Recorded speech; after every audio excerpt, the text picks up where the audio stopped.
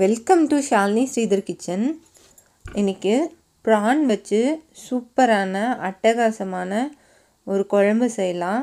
இந்த குழம்பு நல்லா காரசாரமாக சூடான சாதத்துக்கு இட்லிக்கு தோசைக்கெல்லாம் சூப்பராக இருக்கும். நான் வந்து ஒரு பேனில் ரெண்டு ஸ்பூன் எண்ணெய் சேர்த்துருக்கேன். எண்ணெய் காஞ்சதில் அதை கொஞ்சமாக கசகசாவும் ரெண்டு கிராம்பு ரெண்டு பட்டை போட்டுக்கிறேன்.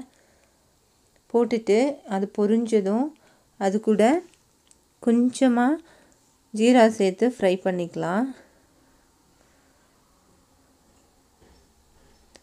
இப்போ நம்ம வெட்டி வச்சுருக்க வெங்காயத்தை ஒரு வெங்காயத்தை பொடி பொடியாக நறுக்கி சேர்த்துக்கிறேன். இப்போது இதை நல்லா வந்து ஃப்ரை பண்ணிக்கலாம்.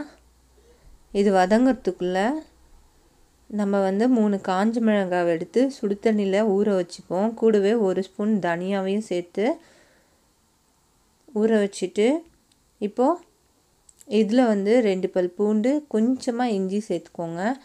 சேர்த்துட்டு ஒரு கால் ஸ்பூன் சீரகத்தையும் சேர்த்துக்கலாம்.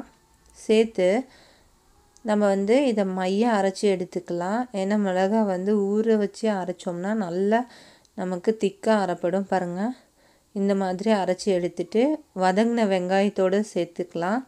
சேர்த்து அதோட பச்சை வாசம் போகிற வரலும் இதை நல்லா ஃப்ரை பண்ணிப்போம். இதோட பச்சை வாசம் போகிற வரலும் நல்லாவே ஃப்ரை பண்ணிக்கோங்க. அப்போ தான் வந்து குழம்பு வித்தியாசமான ஸ்மெல்லாக இருக்காது. அடுத்து அந்த மிக்சியில் கொஞ்சமாக தண்ணி ஊற்றி அலசி இதில் ஊற்றியாச்சு இப்போது பச்சை வாசம் போயிட்டு எண்ணெய் பிரிஞ்சு வந்துடுச்சு. காரத்துக்கு ஏற்ற மாதிரி நீங்கள் பச்சை மிளகாய் சேர்த்துக்கோங்க. நான் ஏற்கனவே காஞ்ச மிளகாவும் சேர்த்துருக்கோம். இப்போ இதில் ஒரு சின்ன தக்காளியை பொடி பொடியாக நறுக்கி அதையும் இதோட சேர்த்து இதையும் நல்லா ஃப்ரை பண்ணிக்கலாம்.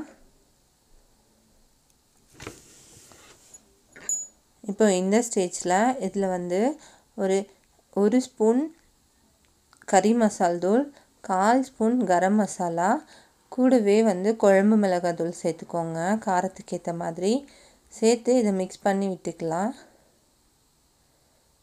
மிக்ஸ் பண்ணிவிட்டு குழம்புக்கு தேவையான அளவு தண்ணி சேர்த்துப்போங்க உங்களுக்கு வேணும்னா நீங்கள் ப்ரானை இப்போவே சேர்த்தும் ஃப்ரை பண்ணலாம்.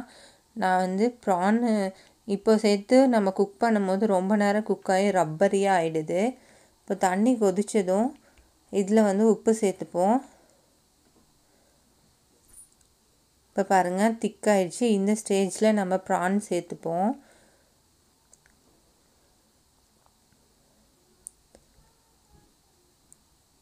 நான் வந்து ப்ரானை வந்து க்ளீன் பண்ணி கழுவி வச்சுருக்கேன். ஒரு மூணு நாலு வாட்டி.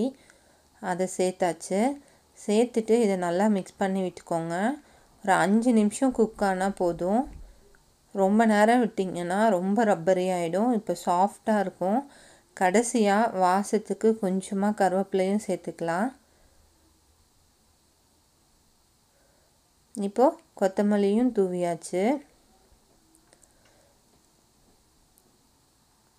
ப்ரான் குழம்பு வந்து ரொம்ப ஈஸியாக தான் இருக்கும். நீங்கள் ம நார்மல் குழம்பு வைக்கிறத விட. பாருங்கள் எண்ணெய் பிரிஞ்சு மேலே வந்தாச்சு. அஞ்சு நிமிஷமாக கொதிச்சிருக்கு. அவ்வளோதான் இது வந்து சூடான சாதத்தோடு போட்டு சாப்பிடுங்க. நீங்களும் செஞ்சு பாருங்கள் செஞ்சு பார்த்து பிடிச்சிருந்தா இந்த சேனலை லைக் பண்ணுங்கள் ஷேர் பண்ணுங்கள் கமெண்ட் பண்ணுங்கள் மறக்காமல் இந்த சேனலை சப்ஸ்கிரைப் பண்ணுங்கள் பக்கத்தில் இருக்க பெல் பட்டனையும் கிளிக் பண்ணுங்கள் தேங்க்ஸ் ஃபார் வாட்சிங்